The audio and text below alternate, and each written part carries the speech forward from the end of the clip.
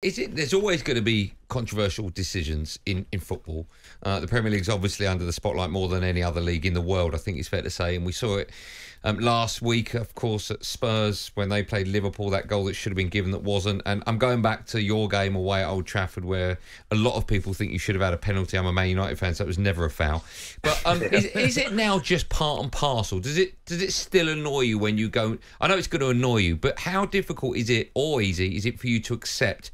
Any and every decision that's involved in day to day football nowadays?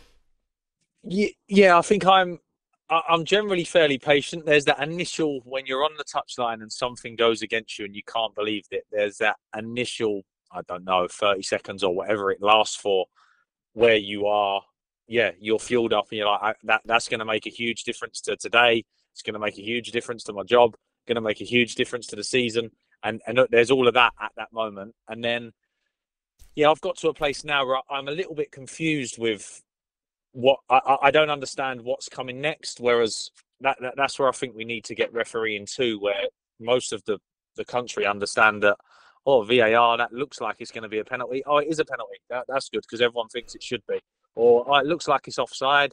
Oh, it is offside. That's good. Whereas at the minute, I, I'm a little bit, yeah, I, I'm worried with where it is at this moment. I think there's too many surprises. Um, where you're, you're expecting something and it goes the other way. So I think they're, I'm sure they're working hard at it. I don't think anyone's making mistakes on purpose. I'm sure they're trying to improve it. But I, I think even, even from where it was last season, it feels like it's in a, it's in a slightly worse spot at the moment. Just quickly before we move on, are you for or against VAR, Gary?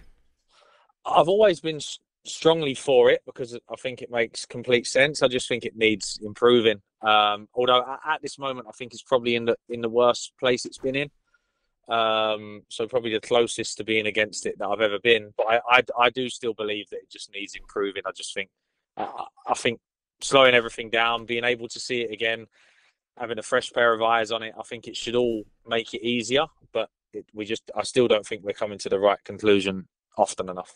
Absolutely, absolutely. All right, guys, I want to talk to you about last weekend. Like, you had a great result against Aston Villa, 1 1. I thought you played really well. Might, might have even nicked it, but then I'm talking about the week before where you beat Manchester City. I mean, what a result yes. that was against the best team in Europe. That's a fact. Um, is that your proudest moment as a manager? And also, tactically, did the boys do absolutely everything you asked them to do when it came to beating Manchester City? Yeah, it was. Um, so yeah, tactically, they, the boys were excellent. Um, obviously Man, City are they're incredible, but they they are very well structured. So um, I, we played against them last year, obviously at Bournemouth, and um, went with sort of a similar setup, but probably slightly too aggressive. So learned quite a bit from that experience. Tried to just make sure it was um, a little bit more secure.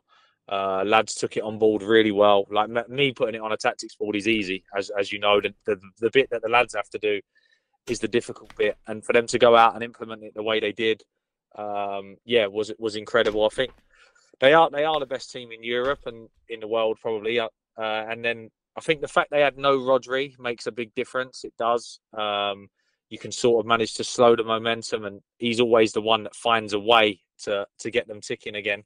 So that was probably a, a plus for us. Um, but yeah, incredible result. I think there was some there were some highs last season. Obviously, winning away at Tottenham with with Bournemouth and mm.